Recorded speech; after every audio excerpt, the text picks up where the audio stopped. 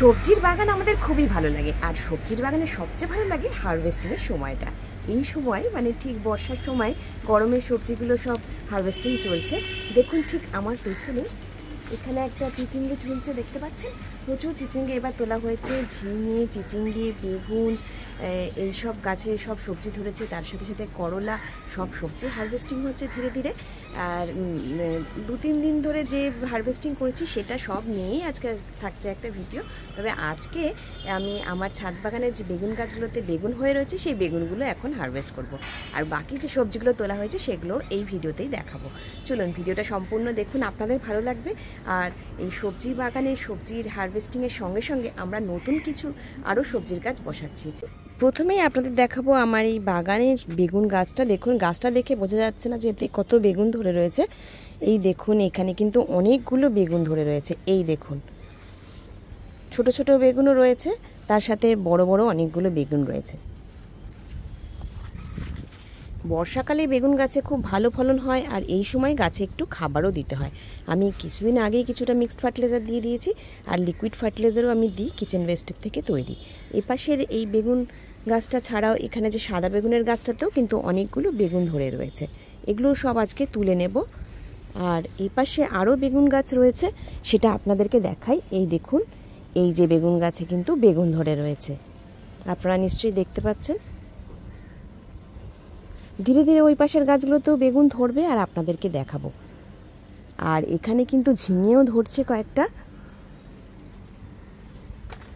এই দেখুন, এখানে ঝিঙে ধরেছে। বেশ কিছু ঝিঙে তোলা হয়ে গেছে। চলুন না, আপনাদেরকে প্রথমেই দেখাবো। আমি চিচিঙ্গে গাছে কটা চিচিঙ্গে তোলা হয়েছে। এই পাশে দেখুন, চিচিঙ্গে তোলা হয়েছে। বেশ কিছু, প্রায় চারটে পাঁচটা চিচিঙ্গে ছিল। তার মধ্যে থেকে হ্যাঁ ছটা সাতটা মতো ছিল। তার মধ্যে থেকে চার পাঁচটা তুলে নিয়েছি আর দুটো রয়ে গেছে, সেগুলো পরে তোলা হবে। সব চিচিঙ্গেগুলোর নিচে আমি দড়ি বেঁধে দিয়েছিলাম। আর দড়ি বেঁধে দেওয়াতে এই চিচিঙ্গেগুলো কিন্তু সোজা লম্বা হতে পেরেছে। এই দেখুন, এই যে দড়ি বেঁধে দিয়েছি, এতে এই চিচিঙ্গেটা লম্বা হয়ে নিচে নেমেছে। দড়ি না বাঁধলেই কিন্তু এটা বেঁকে যায়, ঠিকভাবে বড় হয় না। আর করলা তো প্রচুর ধরেছিল, একসাথে অনেকগুলো করে করলা প্রতিদিন তোলা হয়েছে। এখনও দেখুন এখানে কত করলা ধরে রয়েছে। করলার সাইজগুলো কিন্তু বেশ বড় হয়েছে এবং ফলনও খুব ভালো হয়েছে। যেহেতু বীজটা খুব ভালো ছিল, সেজন্য করলার ফলন খুব ভালো হয়েছে। এপাশে চলুন আবার আপনাদের দেখায় ঝিঙে গাছে কীরকম ঝিঙে ধরেছে। এই দেখুন কতগুলো ঝিঙে হয়েছে। সেই ঝিঙেগুলো কিন্তু তোলাও হচ্ছে। এক এক দিনে প্রায় দুটো, তিনটে করে, চারটে করে ঝিঙে তোলা হয়েছে। দু, তিন দিন হারভেস্টিং হয়ে যাওয়ার পরে এখন একটু গাছের গোড়ায় মাটি আর সার দিয়ে দিয়েছি। এবারে এই গাছগুলো আবার নতুন করে ভালো করে ফলন হবে। তবে প্রথমবারে যে সবজিটা হয়, তারপরে কিন্তু ফলনটা একটু কমে যায়। আবার একটু খাবার টাবার না দিলে গাছে ভালোভাবে ফলন হয় না। এইখানে আপনাদের এবার দেখাবো আমার শশা গাছগুলো মোটামুটি বড় হয়েছে।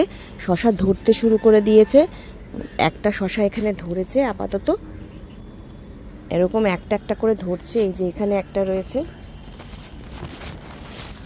এই দেখুন একটা রয়েছে, এরকম ধীরে ধীরে ফুল আসছে এখন। এখনও পর্যন্ত কিন্তু সব গাছগুলোতে শশা ধরেনি। এই যে দেখুন একটা ফুল আছে, এরকম, ধীরে ধীরে ফুল আসছে, কারণ গাছগুলোকে একটু পরে বসানো হয়েছে এবং এইখানে ঝিঙে গাছের আড়াল হয়ে যাওয়াতে একটু রোদও কম পেয়েছে। সেজন্য একটু গাছের ফলনটা একটু দেরি হচ্ছে, তবে হবে, বর্ষায় খুব সুন্দর ফলন হবে। এবার চলুন বেগুন গাছের বেগুনগুলোকে এক এক করে তুলে নিই। এপাশে দেখুন পাট গাছগুলোতে পাট শাক হয়ে রয়েছে। আমার কিন্তু এই পাট শাক গরমকাল থেকে বসানো হয়েছিল। এখনও পাট শাক হয়ে যাচ্ছে।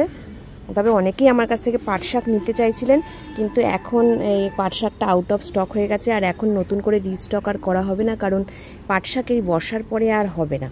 গরমের মধ্যেই বসাতে হতো।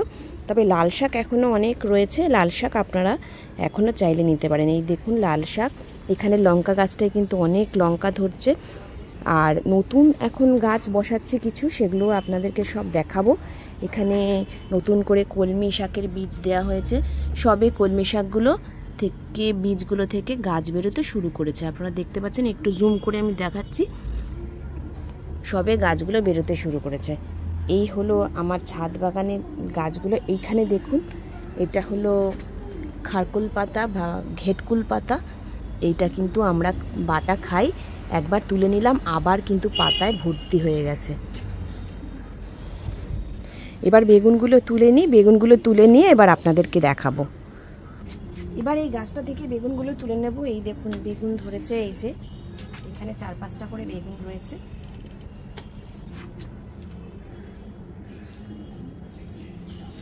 যেগুলো একটু বড় আছে, সেগুলো শুধু তুলে নিচ্ছি। আর যেগুলো ছোট একটু থাক। আরও দুটো তিনটে রয়েছে, সেগুলো এখনও ছোট। এর পাশেও আরেকটা রয়েছে। এবার সাদা বেগুনগুলো তুলে নেব। এই দেখুন, এই সাদা বেগুনগুলো এবার তুলে নিচ্ছি। এখানেও প্রায় পাঁচ, ছটা সাদা বেগুন রয়েছে। এগুলোকে তুলে নিলাম। এগুলো কিন্তু একটু ছোট সাইজেরই হয়। এগুলো তুলে নিলাম। এবার এই পাশে যে গাছগুলো রয়েছে, সেগুলোতে দুটো বেগুন ধরে রয়েছে। এই দুটো বেগুন এবার তুলে নিচ্ছি।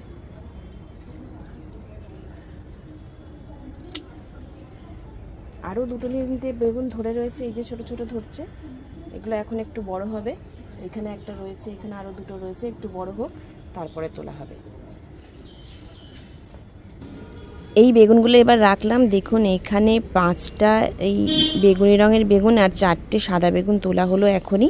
আরও বেশ কিছু বেগুন রয়েছে, এখনই তুললাম না, এত লাগবে না, তাই তুললাম না। এইটা আজকের হারভেস্টিং চলুন এবার ঢ্যাঁড়স গাছগুলো থেকে ঢ্যাঁড়সগুলো এবার তুলে নেওয়ার পালা।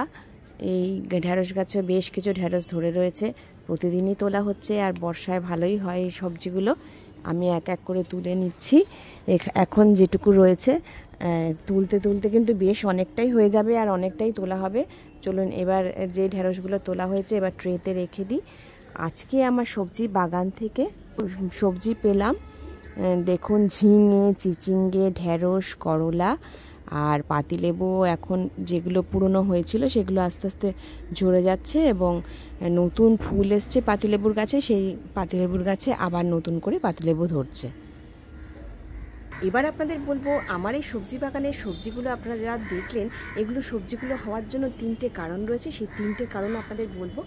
সেই প্রথম কারণটা হলো বীজ। বীজ সিলেকশন আপনাদের ভালো করে করতে হবে। যেই বীজ সিলেকশনটা করলে আপনারা কিন্তু ভালো ফলন পাবেন। এবং দ্বিতীয় হলো মাটিটাকে খুব সুন্দর করে তৈরি করতে হবে। যে মাটি তৈরি করার পরে কিন্তু আপনাকে আর ভাবতে হবে না গাছের পরিচর্যা নিয়ে। প্রথমেই মাটিটাকে ভালো করে তৈরি করতে হবে। প্রথম ফলনটাই কিন্তু ওই মাটির ওপরেই হবে। তারপরে ধীরে ধীরে আপনি মিক্সড ফার্টিলাইজার দেবেন কিচেন বেস থেকে তৈরি লিকুইড দেবেন, সবই আপনি দেবেন। ও একবার ফলন হয়ে যাওয়ার পরে আবার করে মিক্সড ফার্টিলাইজার দিতে হবে। আর তৃতীয় যে কারণটা যার জন্য সবজিটা ভালো থাকে, সেটা হলো এই যে সেক্স ফেরোমেন ট্র্যাপ এই যে ঠিক আমার পেছনে আপনারা দেখতে পাচ্ছেন কি, এই যে সেক্স ফেরোমেন ট্র্যাপটা এই ট্র্যাপটা কিন্তু খুব এফেক্টিভ আর এই ট্র্যাপটাতে কত মাছি পড়েছে দেখুন। প্রতিদিন কিন্তু অজস্র মাছি পড়ছে। দেখুন এখনও হাঁটছে, দেখা যাচ্ছে।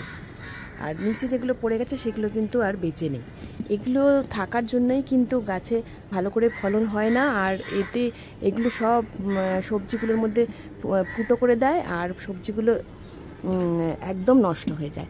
এই সবজিগুলোকে বাঁচাতে গেলে আমাদের অবশ্যই এক্স, এক্সপেরিমেন্ট ট্র্যাপটা ব্যবহার করতে হবে। আপনারা যদি চান এই সেক্সপেরিমেন্ট ট্র্যাপটা আমাকে কিন্তু অর্ডার করতে পারেন। স্ক্রিনে দেওয়া হোয়াটসঅ্যাপ নাম্বারে আপনারা হোয়াটসঅ্যাপ করে এই সেক্সপেরিমেন্ট ট্র্যাপ অর্ডার করতে পারেন। একটা প্যাকেটের মধ্যে দুটো করে সেক্সপেরিমেন্ট ট্র্যাপ থাকবে। খুব বেশি আমার কাছে নেই, কারণ আমি আমার নিজের বাগানের জন্যই নিয়ে এসেছি। এখন আপাতত যে কটা রয়েছে, যদি আপনাদের খুব প্রয়োজন হয়, আমাকে অর্ডার করতে পারেন। আজকের ভেজিটেবল হারভেস্টিংয়ের ভিডিওটা আপনাদের কেমন লাগল অবশ্যই কমেন্ট করে জানাবেন। আর আপনারাও ভেজিটেবল গার্ডেন করবেন। আমার যে সামার ভেজিটেবল গার্ডেনটা আপনারা দেখলেন, এই বর্ষায় তার ফলন হচ্ছে আর এখন নতুন করে অটম ভেজিটেবল সিডস বসানো হচ্ছে। তার মধ্যে আমি বসিয়েছি টমেটো বিনস আর আর এর সাথে সাথে বসাবো কাঁচা লঙ্কা, শিম শশা তো বসানো হয়ে গেছে, আবারও শশা বসাবো। এরকম করে অটম সিডসগুলো ধীরে ধীরে বসাবো। এখন রোজই প্রায় বৃষ্টি হচ্ছে আর বৃষ্টির মাঝে মাঝে আমাদের এই সবজির বীজগুলো বসানো চলছে। আপনারা যারা গ্রিন পার্স চ্যানেলের সঙ্গে দীর্ঘদিন ধরে রয়েছেন, তাদেরকে অসংখ্য ধন্যবাদ। আর ভিডিওটা যদি ভালো লাগে থাকে, তাহলে লাইক করে সবার সাথে শেয়ার করে দেবেন। ইউটিউবের মতনই গ্রিনি পার্সের ফেসবুক পেজটাও লাইক করে রাখবেন। ধন্যবাদ, দেখা হচ্ছে নেক্সট ভিডিওতে